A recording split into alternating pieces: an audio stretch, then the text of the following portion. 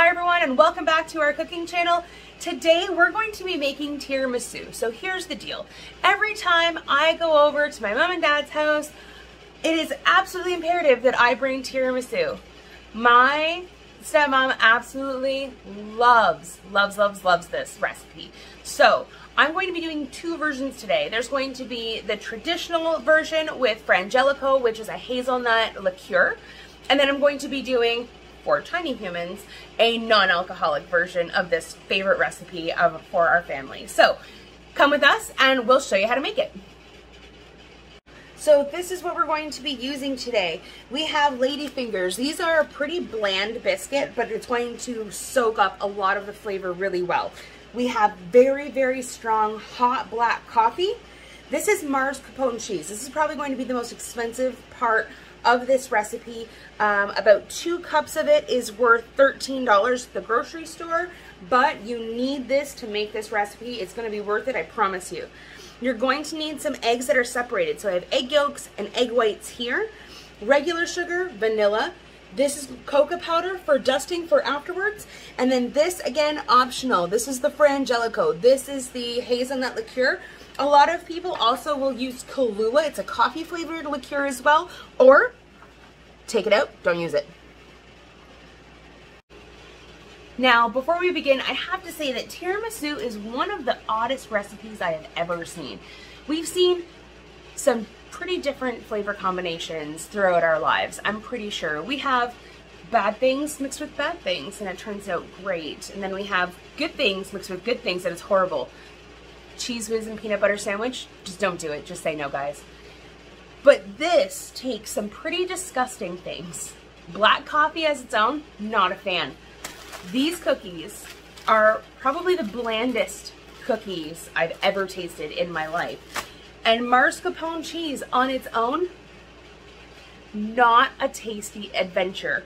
I don't know how it happens, but when you combine them all together, it gives you the most lush, smooth dessert on the planet. It is definitely one of my family's favorites. So it, it, it's an adventure in its own right, but please give it a try. So to start off with, we're going to be putting in our egg yolks first.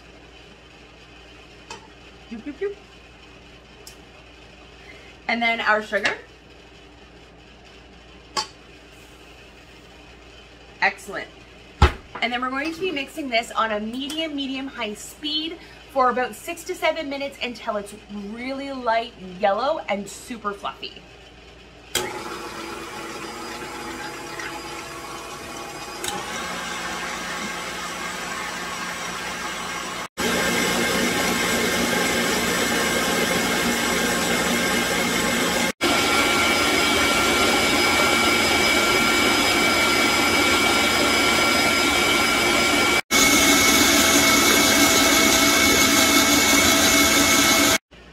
Right, now that that has been whipped for about six or seven minutes, that looks so good.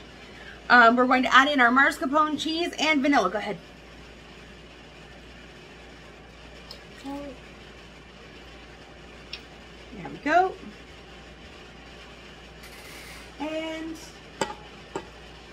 all of it. That's good.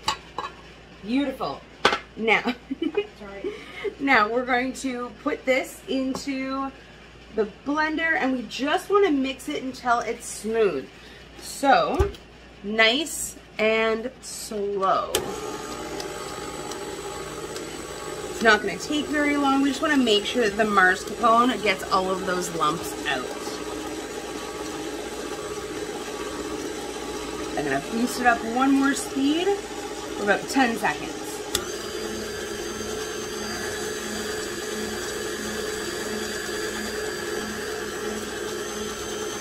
And one more.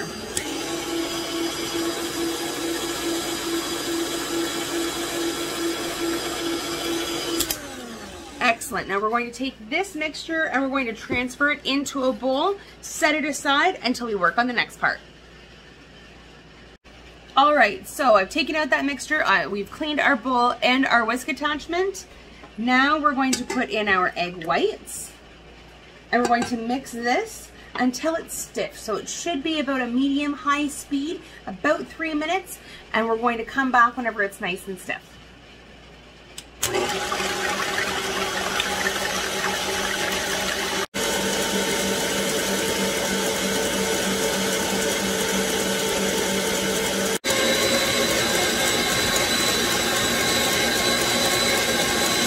All right, so everyone's stiff peaks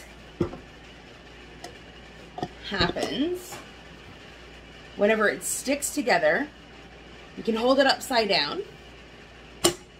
That is exactly what you're looking for. All right, so now that you have your egg whites, again, nice and thick, we're going to take these and we're going to fold them gently into our mascarpone cheese mixture.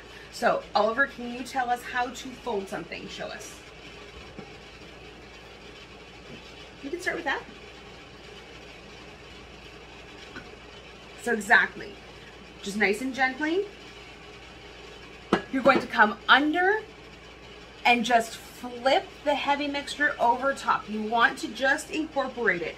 And you have to be careful because if you mash it too much, you're to take all of the air out of this. And then you're going to end up with a very flat tiramisu. It's not going to taste good. It's not going to be fluffy. So, you're doing good. It just takes a little bit. Do you want me to? Or do you want, okay. Here, we'll switch. So, just come around and just flip it over. That's all it is, it's just constant flipping just until it is just, just mixed. If there's still a little bit of lumpy pieces of white, that is 100% okay. So we're just gonna take the rest of it. How I love, love fluffy egg whites. And you want to, again, put your light mixture into the bowl with your heavy mixture. Because if you put the heavy mixture on top of all of this lightness, it's going to compress it. You're going to lose all of your air. So as soon as all of this has been folded in, we're going to start putting together our tiramisu. All right, everyone, this is where we're going to have to work fast. So in here, I just have my black coffee. This pan I'm using for our uh, alcohol-free version, just so I can tell them apart. So we take our ladyfinger biscuits and we soak it in the coffee. Now you have to work fast because this will not take long to soak up, maybe two seconds. So dip, dip, and it will get very, very soft. It will just fall apart. So make sure not to burn yourself because as I said, it is hot coffee. So I'm just gonna show you. That was dipped and then look at how squishy that is it turns into a sponge. So we're just going to line. You don't have to grease this at all either. I would strongly suggest not greasing your pan. I think it would leave quite the odd taste for your tiramisu. Excellent. And for these here, you can actually just break these in half quite easily just to fill in this small section here.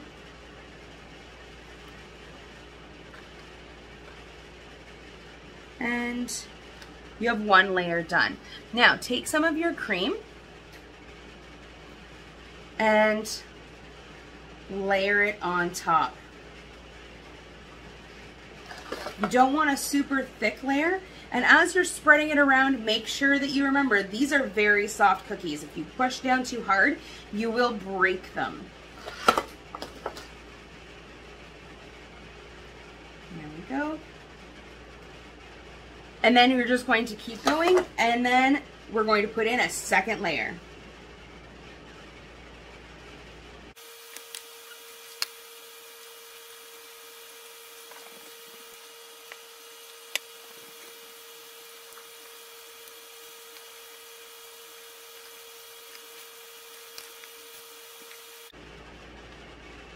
There you are. Now what you're going to do is you're going to take this, wrap it in cellophane or plastic wrap, and then you're going to put it in the fridge for a minimum of four hours. We want this to set together.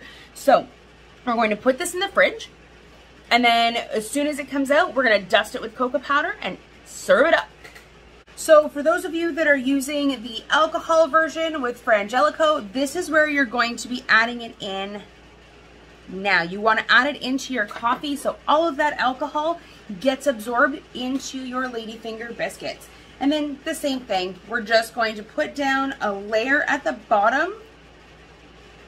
And remember, you're gonna have to work really, really fast before everything becomes too damp to work with.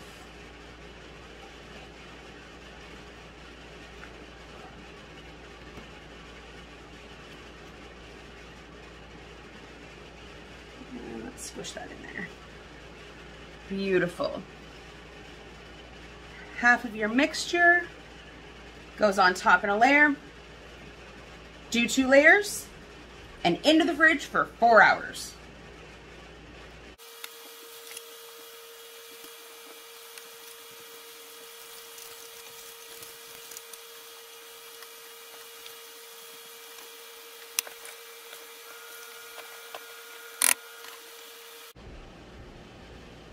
All right, so now that this has been sitting, we left it a little bit longer than we had to, which is never a bad thing. We're going to dust the top with our cocoa powder. You can put as little or as much on here as you want. I am, uh, I, I will want a lot kind of individual. Beautiful. And then it's as simple as serve and eat. All right, everyone, look at that. Look at the layers. And it's so spongy and fluffy. Absolutely delicious. Here, dig in.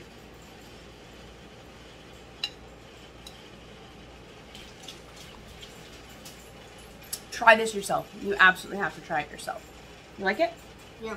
It, it's really good, but it's also one of our favorites. We just. All right, you need to try this yourself. Please, if you want to see any different videos from us, drop it into the comments below. You're just like digging right in. Yeah. Drop it into the comments below. We'll try to add it to our roster. If you try to make it yourself, throw it into the comments. I would love to see what you guys create as well. Until I see you around campus, stay healthy, stay safe, and stay fed.